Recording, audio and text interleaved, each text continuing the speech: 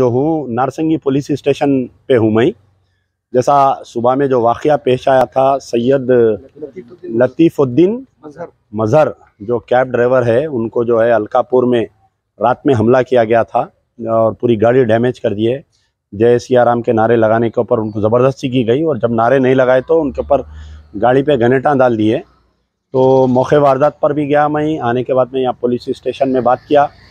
हमारे inspector of police Narsingi, बहुत ही active आदमी है, इमीडिएट आए, स्पॉट चेक करे और पूरा सीसीटीवी कैमरास निकाल रहे हैं और अश्योरेंस दिए हैं कि आज शाम से पहले जो है लोगों को कैसा भी गिरफ़्तार कर लिया जाएगा, वो कौन बुक कराया था, कौन बुलाया, कौन मारा पूरा मालूम हो जाता।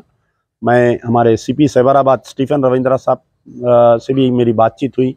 हमारे एसीपी अलवाल, मैं समझता हूँ, उनसे भी बातचीत हुई वेरी एक्टिव एसीपी माधापुर से भी बातचीत हुई।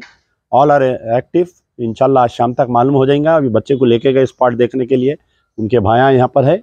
फिर मैं जो भी है आप लोगों को अपडेट करूँगा। शुक्रिया।